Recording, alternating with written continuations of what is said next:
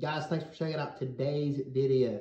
Uh, today, uh, we are talking about something that's so simple in the realm of bass fishing, uh, but it is one of the most important rigs that you can uh, have in your arsenal, and that is the Texas rig. So I'm going to show you guys uh, over the next couple of minutes how to rig that up.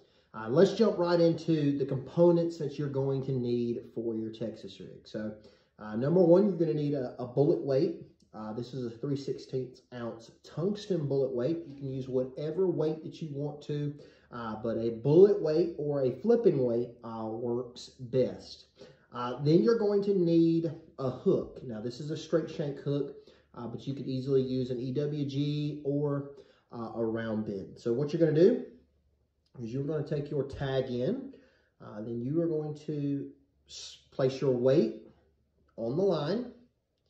And then you're just going to uh, tie your hook on uh, to your line. Now I'm just going to tie uh, an improved clinch knot, um, which is one that I've been tying for years. Uh, if you want to know more uh, about some other knots uh, that you can use, uh, check out this video uh, and that will help you out as well.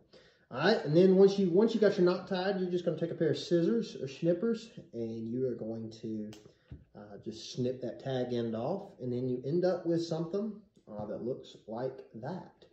Uh, so now let's talk about how to rig it up. So what I want you to do is I want you to check out the next video, uh, which will show you how to rig up your soft plastic on your hook.